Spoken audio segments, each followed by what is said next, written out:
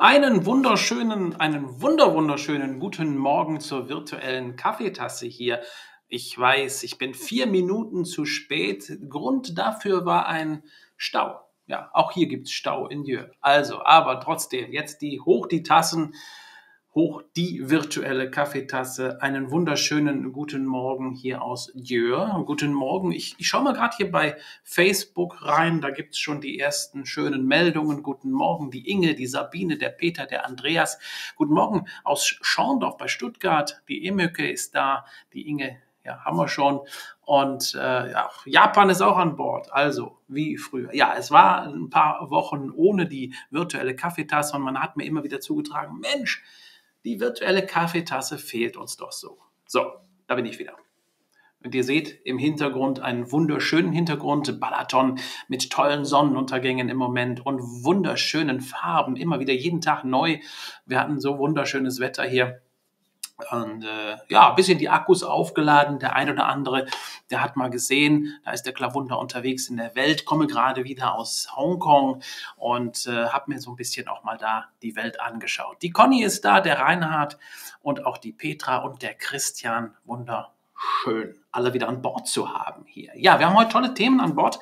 Wir haben, unsere Redaktion hat ein bisschen recherchiert. Wir machen heute einen Ausflug ins Roderspat. Wir schauen uns eine Top-Immobilie am Balaton an. Wirklich auch diejenigen, die mit dem Gedanken spielen, eventuell nach Ungarn auszuwandern oder einfach nur ein bisschen Geld zu investieren in so eine Ferienimmobilie, haben heute ein tolles, tolles Produkt hier an, an Bord, äh, was wir uns angeguckt haben, was wirklich dann auch ähm, in die Zeit passt jetzt hier. Ja, und wir schauen uns natürlich auch an, was so los ist heute in Ungarn, worüber Ungarn heute spricht. Und ich glaube, wir geben auch gleich den Chat hier mit rein, weil ich glaube, unser Format ist doch irgendwie cool, denn ähm, ich glaube, das, was das Format ausmacht, ist, dass sich die Menschen hier morgens bei einer Tasse Kaffee, ich merke gerade, dass ich noch gar nicht getrunken habe, Jetzt aber einen guten Schluck. Bei einer Tasse Kaffee hier zusammenkommen und auch live kurz Ihre Eindrücke, Ihre Infos, Ihre Sorgen ähm, oder ihr einfach nur Ihr Beisein hier quasi ähm, da lassen können. Und ich glaube, das ist das Besondere an dieser virtuellen Kaffeetasse. Ja, da sind wir wieder. So, jetzt aber nicht viel reden, sondern auch machen, denn äh, wir haben ja nicht so viel Zeit. Ne? Eine halbe Stunde Kaffee trinken, die geht ja schnell vorbei. Und ich möchte am Anfang, wie auch immer, ich, ich muss ja auch jetzt wieder erstmal wieder reinkommen, ne? war ja eine Zeit der Abstinenz hier. Ähm, zuerst gratuliere ich mal allen denen, die einen Namenstag heute haben, nämlich das ist Ignaz. Ignaz Namenstag heute am 1. Februar. Unglaublich, wa? Der Januar ist schon rum, der Februar schon da und der Harald sagt auch Hallo zum gemeinsamen Kaffee dass ähm, der Februar schon wieder, ich, ich fand, der Januar ging so schnell rum, oder? Unglaublich. Ja, und dann schauen wir uns natürlich auch für viele immer wichtig, wie steht denn heute der Kurs? Wie kann ich denn heute meine Euros wechseln? Und das schauen wir uns auch gerade mal an. 384 Forint im Moment. Ähm, Mittelkurs 1 Euro. 384 Forint. Heute Morgen. So, das sind mal die wichtigen Dinge, die wir hier am Anfang natürlich ähm, rüberschieben wollen. Ich muss mal gerade eben mich auch selber hier sortieren, dass ich meine, meine, mein, mein, mein Arbeitsboard hier wieder richtig generiere, damit ich euch auch wirklich alles zeigen kann. Ja, ganz zum Schluss zeige ich euch noch ein paar ganz interessante Dinge, die ich in Hongkong erlebt habe. Und ich gucke ja auch immer so, ich vergleiche auch immer so mit äh, Ungarn dann, ja, ob es das kulinarische ist oder andere Dinge oder suche auch immer mal so ein Stück Ungarn in anderen Ländern. Da zeige ich euch nachher am Ende der Sendung ein paar spektakuläre Bilder zu. So, ich würde sagen, wir steigen ein und schauen mal so, worüber Ungarn heute redet. Und ihr seht, meine Zettel habe ich auch immer noch hier. Ne, man kann ja nicht alles im Kopf haben, man muss ja auch mal ein bisschen so Gedanken. Und gerade im Alter ne, ist das auch ein bisschen, ich, ich, also ich werde vergesslicher. Ich weiß nicht, wie es euch geht, aber ich werde teilweise echt ein bisschen vergesslich im Moment. Ja, bin ja noch jung eigentlich, ne, aber trotzdem, mit jedem Jahr wird man ja ein Jahr älter. So, ja, heute, äh, seit gestern ist Viktor Orban in Brüssel und wir wissen immer, wenn Viktor Orban in Brüssel ist, dann gibt es auch irgendwelche Schlagzeilen, auch in deutschen Zeitungen. Ähm, die gibt es nicht nur, wenn er in Brüssel ist, die gibt es ja auch sonst so. Aber trotzdem, wenn er in Brüssel ist, dann gibt es meistens ja irgendwelche wichtigen Gespräche und im Moment äh, treffen sich äh, zahlreiche Länder der EU, um über die Gelder für die Ukraine zu bestimmen, beziehungsweise auch abzustimmen und zu diskutieren. Ähm, da ist Viktor Orban auch dabei und da können wir natürlich darauf warten, in den nächsten Stunden, in den nächsten oder spätestens morgen wird es dann natürlich auch ein Resümee geben, mit wem er da alles zu tun hatte und welche Aussagen er zu dem Thema immer wieder trifft. Ganz klar ist die Haltung von Viktor Orban zu diesem Thema im Moment keine kriegerischen Konflikte, sondern wirklich über Gespräche und über Friedensgespräche äh, der Ukraine dabei zu stehen. Das ist ja ganz klar auch dann Viktor Orbans Haltung die ganze Zeit gewesen. Und da kommt halt immer wieder auch in ja, etwas dubiose Gespräche beziehungsweise in Schlagzeilen, die Ungarn dann doch irgendwo immer wieder negativ darstellen. Das, wie gesagt, heute Seit gestern ist er dort. Gestern hat er mit der italienischen Staatspräsidentin und dem äh, französischen Staatspräsidenten gesprochen und wir sind mal gespannt, was heute bei diesen Gesprächen in, der, in Brüssel rauskommt. Siato war gestern unterwegs in Katar und auch wichtig für alle die, die hier in Ungarn leben. Ähm, er führt ja ständig Gespräche um die Energiekrise, gerade in Ungarn auch quasi dann ähm, äh, lebenswert oder lebenswert, das Leben lebenswert zu machen und die Energiekrise so gering wie möglich zu halten. Da hatte er gestern Gespräche in Katar, in Doha und äh, hat einen Vertrag verlängert bzw. neu aufgesetzt von 2026 über Flüssiggaslieferungen nach Ungarn. Und hier sehen wir, der Außenminister Ungarns wirklich sehr emsig, sehr aktiv in diesen Dingen. Und äh, wie gesagt, gestern dann in Doha und für 2026 sind die Gespräche bzw. die Verträge bereits im Lauf. Also Ungarn tut da einiges, um die Energiekrise auch so gering wie möglich zu halten im Land. Apropos Energiekrise, kommen wir ganz schnell auch zu dem Thema, worüber wir in den letzten Wochen immer wieder diskutieren, auch in unseren Nachrichten. Das sind die Kraftstoffpreise, die auch in Ungarn mittlerweile dann wieder so ein bisschen nach oben gehen. Das hat auf der einen Seite den Grund, dass die die entsprechende Steuer dort etwas erhöht worden ist im Januar in zwei Stufen, aber auch jetzt der Großhandelspreis ständig immer mal wieder nach oben schwappt und auch jetzt am Freitag geht es wieder nach oben. Wir sprechen dann von Durchschnittspreisen ab morgen von circa 603 Forint pro Liter für das Benzin und 640 Forint pro Liter für den Diesel. Dann ab morgen die Durchschnittspreise an den Tankstellen. Ja, auch da wird es, wie gesagt, wieder ein bisschen höher. Letzten Preis äh, in Sachen Benzin in dieser Höhe hatten wir dann im November. Dann purzelte es ja nach unten. Jetzt geht es wieder hoch. Also dieses Hoch und Runter werden wir wahrscheinlich auch in den nächsten Wochen noch so ein bisschen miterleben. Ja, und es kommt immer auch wieder so ein bisschen dran auf an, wenn wir auf den Kurs schauen, wie sich Viktor Orban jetzt vielleicht heute in der EU in Brüssel benimmt. Denn auch das kann dazu führen, dass gewisse Kurse hoch und runter purzeln hier in Ungarn. Und äh, ja, deshalb sage ich jetzt immer drauf gespannt, was er dort dann in den nächsten Stunden vollbringt bzw. diskutiert. Ja, auch ein Thema heute ist Wizz Air. Wizz Air hat äh, von der Wettbewerbsbehörde irgendwo so ein bisschen mal so den Zeigefinger bekommen, denn man hat da zwischen zwei 2022 und 2023 ähm, die äh, Ticket Online, die Ticket Online äh, Geschichte dann so ein bisschen äh, ins Wanken gebracht. Das heißt also, wenn ich ein Ticket gebucht habe online, dann wurde der Rückflug nicht auf meinem Handy. Dann muss ich ja angeben, dass ich dann auch die Boardingkarte auf meinem Handy zeigen kann. Sonst kostet das ja Gebühren. Aber in gewissen Ländern war das nicht möglich aufgrund der Einstellungen auf der Webseite. So, das mussten die Passagiere dann teuer für 40 Euro sich ein Ticket ausdrucken lassen und diese versteckten Informationen bemängelt nun die Wettbewerbsbehörde. Man äh, schaut sich das jetzt genauer an und es kann sein, dass der ein oder andere da die ein oder anderen Gelder wieder zurückbekommt. Also mal darauf achten, was die Wettbewerbsbehörde hier rausbekommt. So, dann ein schönes Thema, worüber Ungarn heute auch spricht, ist ein Leopardenbaby. Ja, hier sehen wir es im Zoo von Debrecen, ein richtig schnuckeliges, kleines, süßes Leopardenkätzchen. Ähm, hier schauen wir nochmal an. Guck, da ist die Mama auch dabei.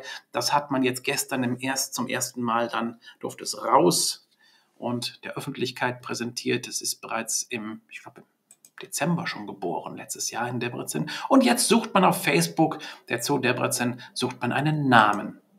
Ich habe heute Morgen gesagt, könnte ja Debbie, Debbie sein für Debrecen, oder?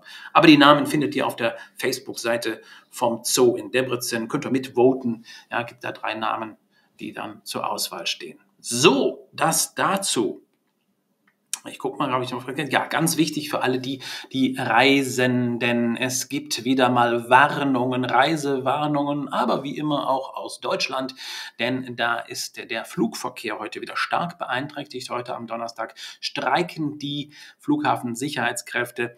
Dort sind dann teilweise komplette Sicherheitslinien stillgelegt. Manche Flughäfen sind komplett stillgelegt bereits, aber es handelt sich im Moment mal so um 1100 Flüge, die gecancelt wurden. Jede Menge Verspätung, also wieder mal Chaos durch Streik in Deutschland. Wer unterwegs ist in Richtung Budapest, wer von Budapest unterwegs ist in Richtung Deutschland, muss dann damit rechnen heute entweder, dass der Flug ausfällt oder dass er stark verspätet ist. Also das ist in dieser Form heute anzukündigen. Und, aber das haben wir ja schon in den letzten Wochen immer wieder, diese Problematik mit den Flughafenstreiks, mit den Bahnstreiks, mit dem öffentlichen Nahverkehr.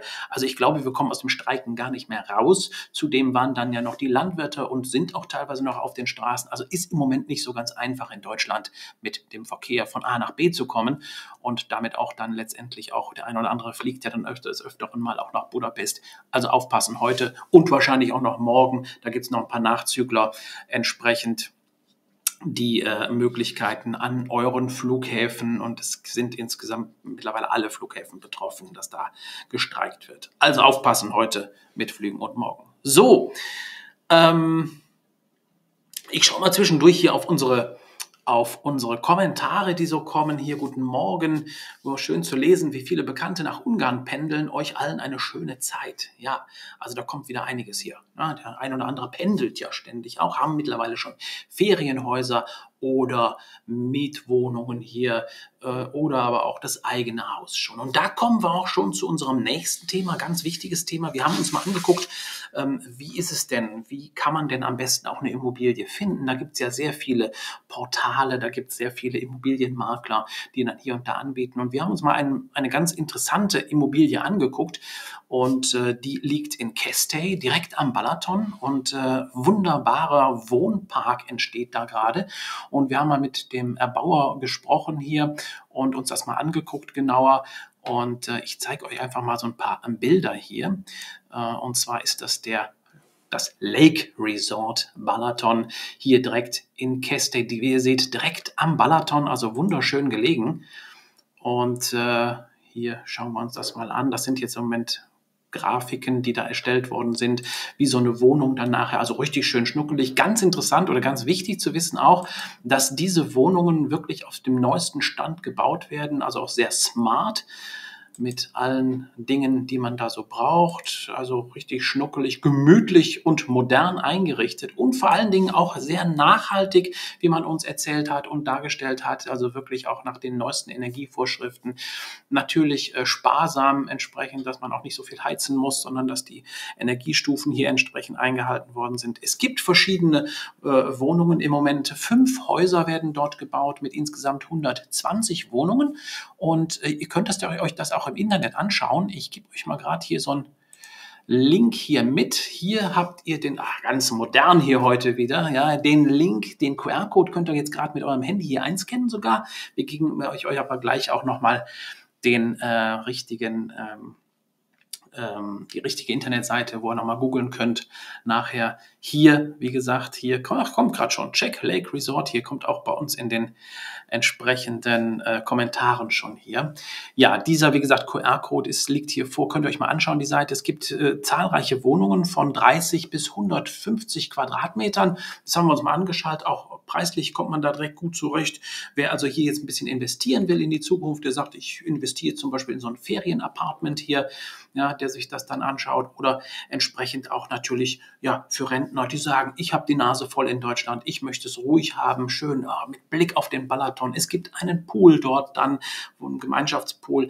Es gibt wunderschöne Gartenanlagen und äh, ja, direkt am Balaton. Ihr seht das ja hinter mir, ne? so ein Blick immer, wenn man abends dann mal so auf, dem, auf der Terrasse sitzt oder einen kurzen schönen Spaziergang macht, direkt wunderschöne äh, Spaziermöglichkeiten da vor Ort und natürlich auch Dienstleistungen vor Ort, die einem dann helfen, dort das Leben einfacher und besser zu machen. Also ich glaube, das ist wirklich eine tolle Anlage und äh, alle die, die mehr Informationen haben wollen, wie gesagt, hier gibt's einmal den Code, den QR-Code oder auch auf unserer Internetseite nachher den Link nochmal nachzuschauen und sich da mal die Häuser anzugucken. Alle Wohnungen werden da auch schon mit Fotos dargestellt und jetzt im Moment beginnt so diese Verkaufsphase. Also wer da Interesse hat, ich glaube, im Moment gibt es auch ein paar gute Schnäppchen da, wenn man früh genug ist. Viele sind schon verkauft, haben wir uns sagen lassen.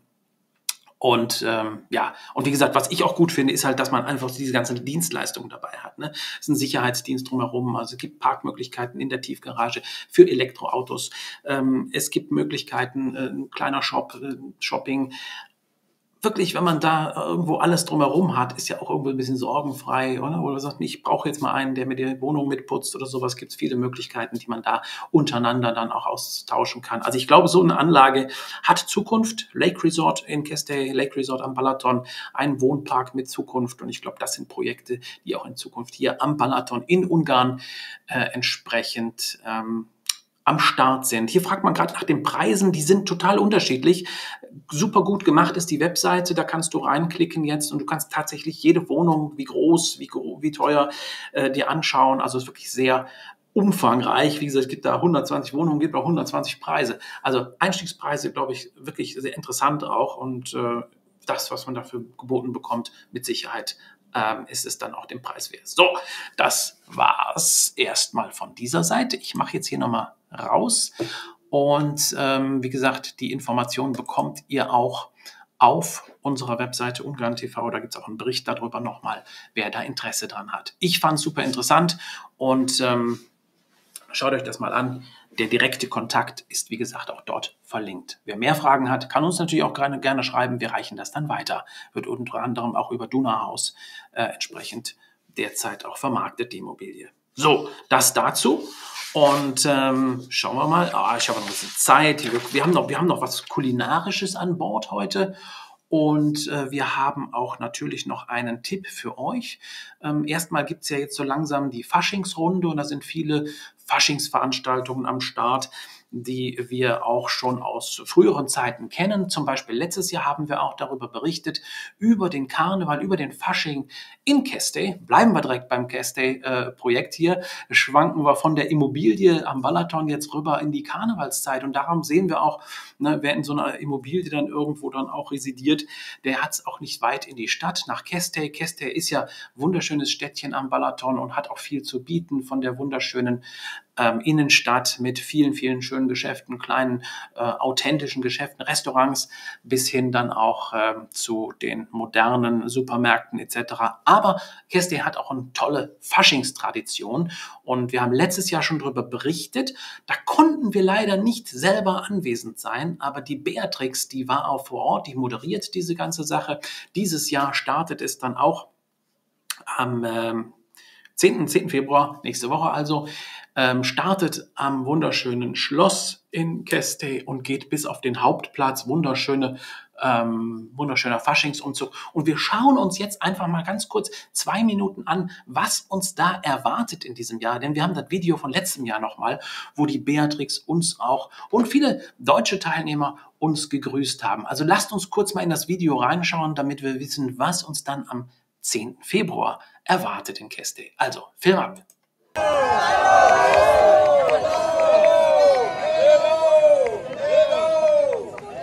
Liebe Sven, wir sind da eigentlich circa 3000 Zuschauer und Leute auf dem 22. Kesthay Karneval. Es tut uns leid, dass du nicht kommen konntest, aber die deutschsprachigen Leute, dank an dich, haben uns gefunden. Sie haben diese nette Videonachricht für deine Zuschauer gemacht. Liebe Grüße aus Kesthay.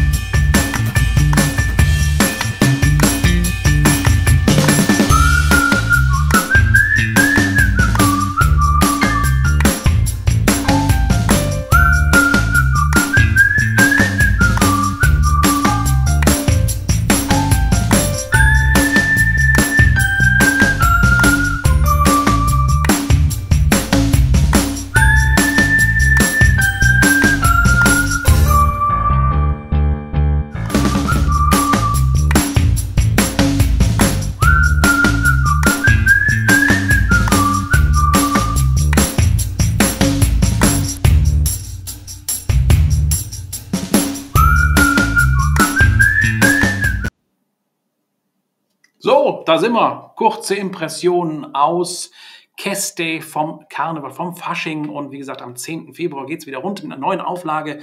Und dann versuchen wir dabei zu sein. Und wir würden uns riesig freuen, wenn wir den einen oder anderen vielleicht live dort vor Ort treffen würden. Wir bringen eine Menge Kaffeetassen mit. Und dann lasst uns doch gemeinsam versuchen, vor Ort eine richtig gute Tasse Kaffee zu trinken. Ich bringe genug Tassen mit. Also lasst uns das versuchen. Ja, lasst uns versuchen, dort irgendwie was aufzubauen, hier aufzustellen.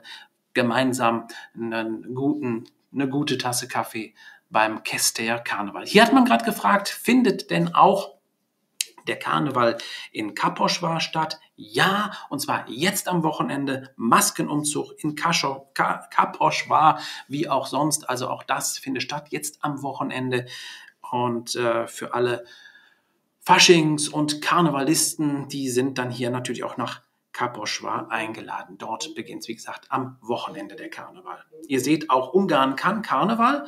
Und ähm, ich würde sagen, wir schauen uns, wir schauen uns auch nochmal an am 3. und 4. Äh, genau, Datum 3. 4. Februar in Kaposchwa Fasching, also für alle die, die sich auch für Kaposchwa interessieren. Und dann am 10. geht es Richtung Keste los. Und natürlich am 3. und 4. gibt es noch ein interessantes Event für alle die, die in Budapest sind und die auch so ein bisschen in die Richtung China gucken. Da war ich ja jetzt in der, in der ähm, am, am Wochenende in äh, Hongkong. Und das chinesische Neujahrsfest, das findet ja auch dann statt am äh, 10. am 10. Februar, genau, dann ist äh, Neujahr in China und man feiert das aber jetzt schon am 3. und 4. in Budapest und zwar dort auch im äh, Chinatown im 10. Bezirk in Budapest. Da gibt es also auch wirklich ganz tolle Aktionen, ja, bis hin zu Workshops zu chinesischer Medizin, aber auch Drachentänze, denn das neue chinesische Jahr beginnt ja mit dem Drachen, das Jahr des Drachen. Und da gibt es also auch wirklich tolle Veranstaltungen in Budapest, 3. und 4. Februar, also auch nicht verpassen. Wer da in Budapest ist, kann so ein bisschen chinesische Kultur schnuppern. Auch natürlich gute kulinarische Dinge. Also, das wäre ja dann auch eine Sache für Budapest. Und jetzt sind wir von Kestey rübergehoppt. Waren schöne Bilder übrigens auch. Ne? Die, wie gesagt, die Beatrix hat das ja damals da moderiert und wird das auch in diesem Jahr wieder machen. Wir werden sie auch also dort treffen und vielleicht sehen wir uns ja auf der Bühne, auf dem Hauptplatz irgendwo. Wir versuchen was zu organisieren. Ähm, eine gute Tasse Kaffee Kaffee, wie gesagt, beim Fasching in Keste. Ich glaube, da kriegen wir hin, oder? Das wäre doch eine tolle Sache.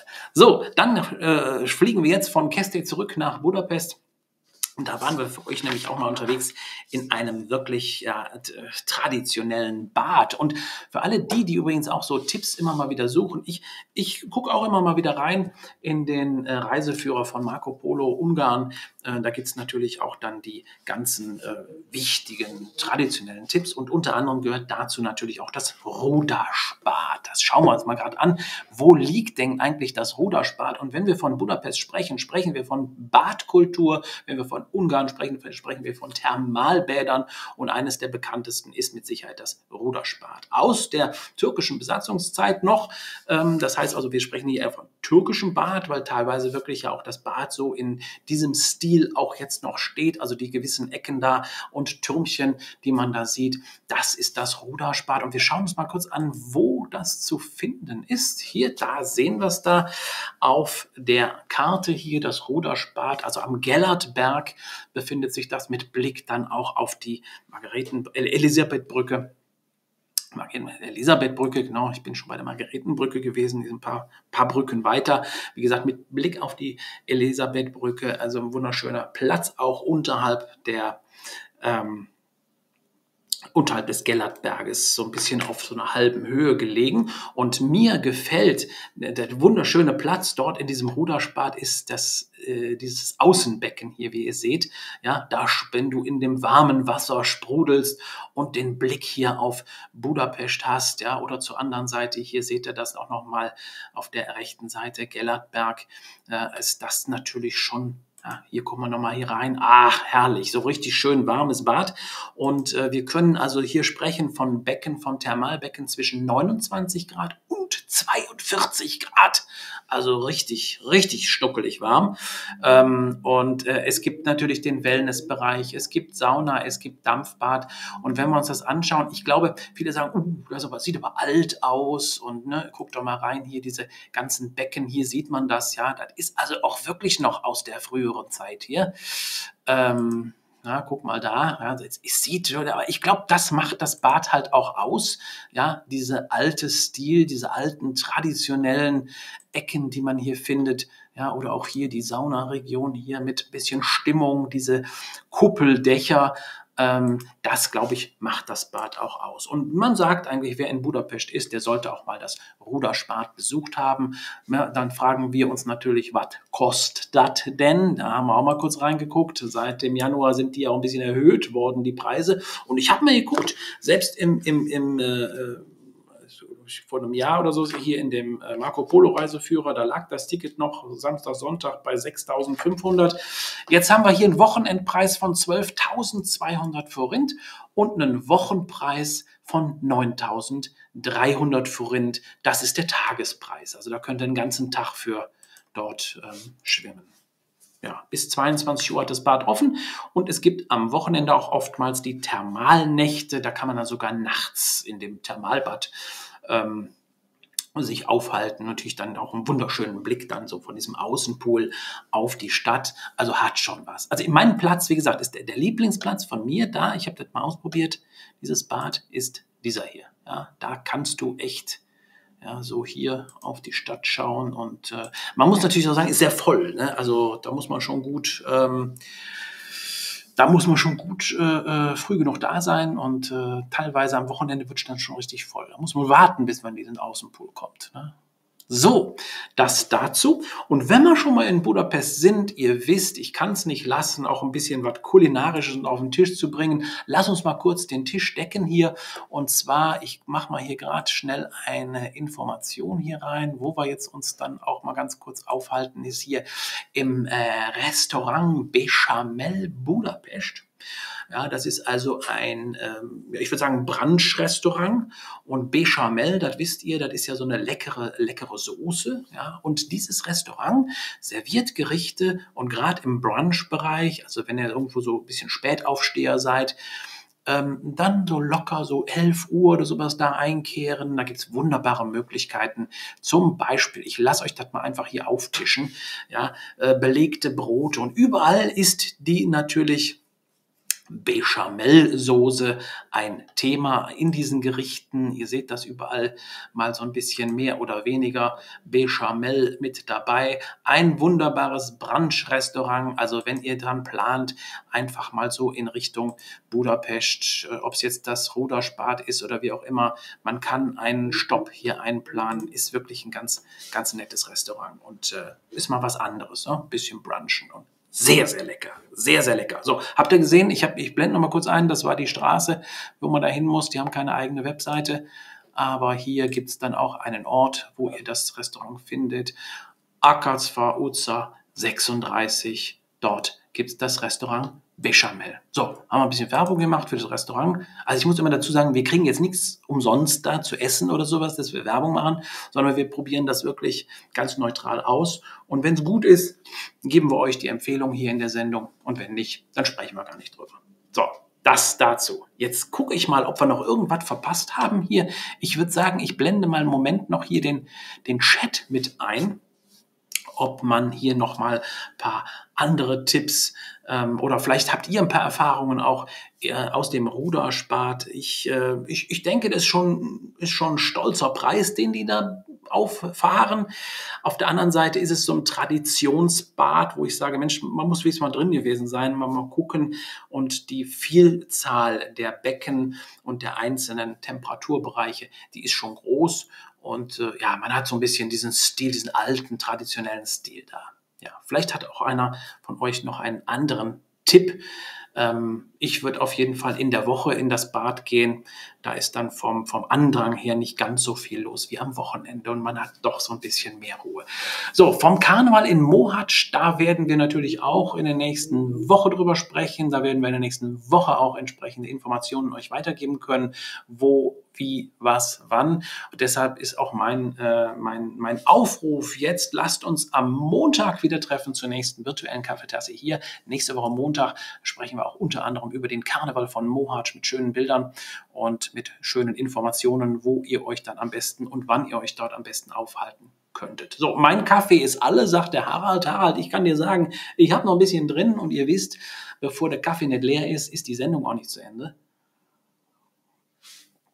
Ich muss auf äh, meiner Seite sagen, ich habe mich riesig gefreut, heute euch mal wieder zu treffen hier in, in der schönen Runde. Und ich habe euch versprochen, ich wollte noch ein paar ähm, Informationen oder Bilder äh, loswerden hier. Ich war in Hongkong, war mein erste, meine erste Reise nach Hongkong und jetzt kurz vor dem ähm, Neujahrsfest auch. Ihr habt gerade gehört, in Budapest wird das auch gefeiert.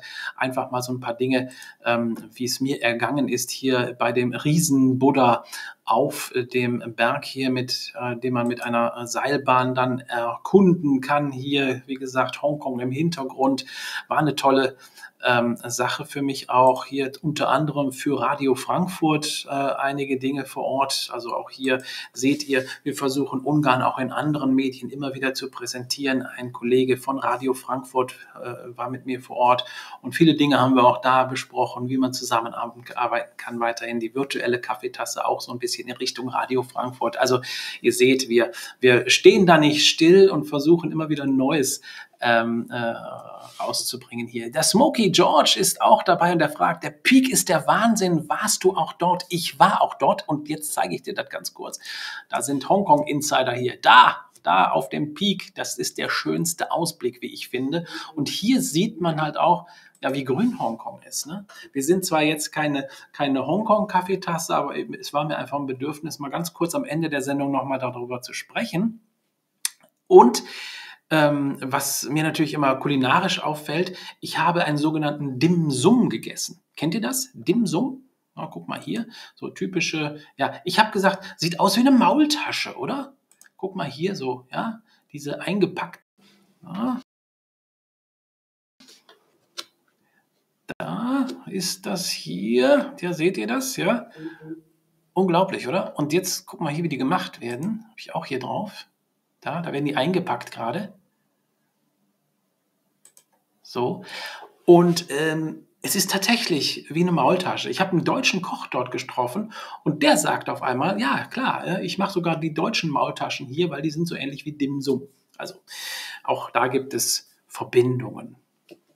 Du isst auch alles, sagt der Klaus gerade hier. Und äh, 100 Jahre alte Eier sind allerdings das Schlimmste, das hier gegessen. Ja, und da genau, das wollte ich noch ganz kurz. Äh, es gibt ja viele Leute, die gesagt haben, boah, ist in Hongkong, uh, da musst du aufpassen, dass keine Hund oder Katze isst oder sowas. Nee, nee, nee, das ist ein Mythos. Das gibt's da nicht. In Hongkong selber ist es sogar verboten, Hund und Katze und solche exotischen Sachen. Ist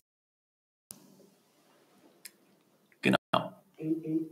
Schauen wir mal gerade hier wo unsere, genau, 100 Jahre alt. Ich gucke gerade in den, in den Chat rein, was da so alles kommt. Gerade in Sachen ähm, Kulinarik ist da ja immer auch, sind da viele Meinungen unterwegs. Aber wie gesagt, Hunde und Katzen ist ver verboten in Hongkong, gibt es nicht und Gott sei Dank. Ich war schon, ich war schon auf alles vorbereitet, aber das hätte ich auch nicht gegessen. Never. So, in diesem Sinne, wir haben 10.08 Uhr, den letzten Schluck Kaffee. Kommt, lass ihn gemeinsam trinken. Ah, ist schon kalt. Aber kalter Kaffee macht schön, ne? So, jetzt ist er weg. Ich freue mich. Hier schreibt man gerade, der Klaus Stefan schreibt gerade hier, der Kaffeekonsum steigt wieder an. Ähm, ja, kann man so sagen. Wir, wir sorgen dafür. Wir sorgen dafür, dass er morgens zumindest um 9.30 Uhr nochmal eine Tasse Kaffee trinkt mit uns zusammen und ähm, einfach ein bisschen klönt. Das ist doch schön, oder? Also mir hat das auch, ich muss ganz ehrlich sagen, mir hat das auch ein bisschen gefehlt. Ne? Aber es gab halt Dinge, die man dann zwischendurch auch noch regeln musste. Und jetzt sind wir ja wieder da. Ja, jetzt sind wir wieder da und jetzt äh, starten wir den Tag dann wieder. Nicht jeden Tag, aber wir versuchen so oft wie möglich auf Sendung zu sein. Und jetzt gehen wir einfach mal ins Wochenende. Wetter in Ungarn, kann ich sagen, ein bisschen wechselhaft, immer noch so ein bisschen frisch auch, aber auch da sind wir alles gewöhnt, denke ich mal. Ne?